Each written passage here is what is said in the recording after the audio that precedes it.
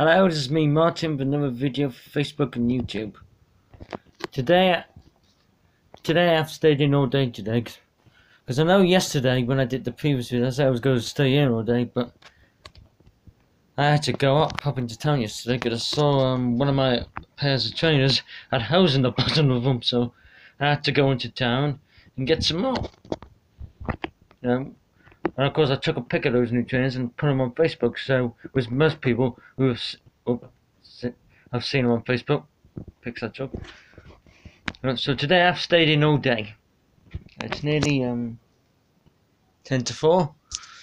Yeah, I'll be staying in tomorrow, which will be a Saturday, and I'll be staying in Sunday, Monday, Tuesday, until I next go out, which will be a Wednesday when I go out to Liverpool on the bus. So. The weather's been okay today, actually. Unlike, like, unlike what I, like I said on Wednesday when it was absolutely atrocious and just tossing it down with rain. Hmm, whatnot. Like I said, it's good I can do a video on the top of it again, but I can only do it certain times in the day.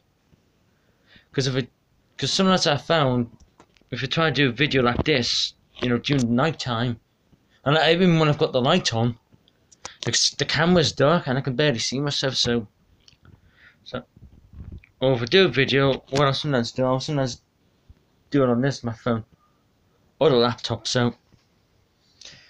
As I say, I'll be staying in for a couple of days now, plus, Mum's been shopping, you know what not, so I won't need to go out for a few days, you know what not, and um, actually at the moment, because I've gone on pause, I'm watching um, WWE Extreme Rules in 2017, my DVD on my DVD player in my bedroom. I'm currently watching. Sorry, not actually.